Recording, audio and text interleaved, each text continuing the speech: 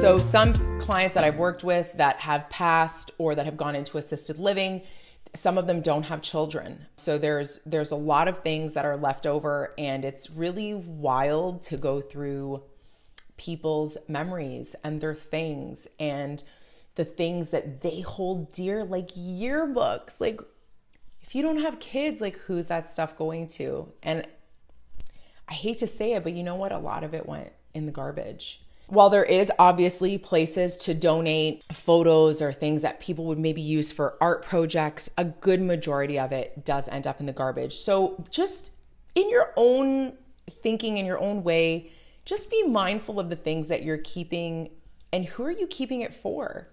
Like, really think about that. When I'm gone, who's gonna look at this? Who's gonna want this? What's this going to mean to somebody?